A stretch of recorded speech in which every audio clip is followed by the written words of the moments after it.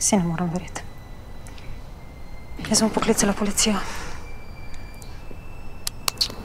Veš kaj, ja, bova poklicala. No, kar poklič mi, boš naredil uslugo. Glej, tukaj so rože, ki mi jih je včeraj mami kupila. Okej. Tam so supergi, poglej, tam uni škatli, tam so moje vanske. Pust me na miru.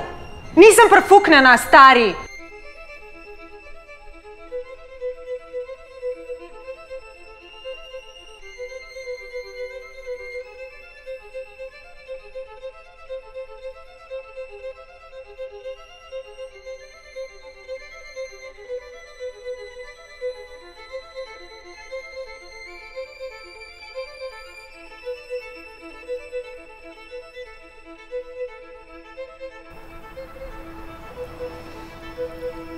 Ok, Ja, ja. zmeni.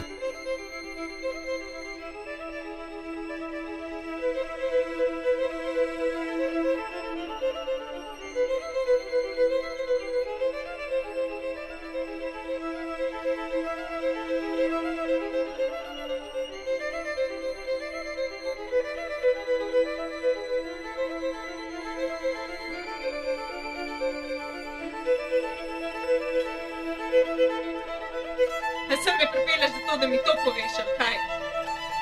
Ha? Vse si vjer, vse. Dobro, več gled, vjer. Thank you.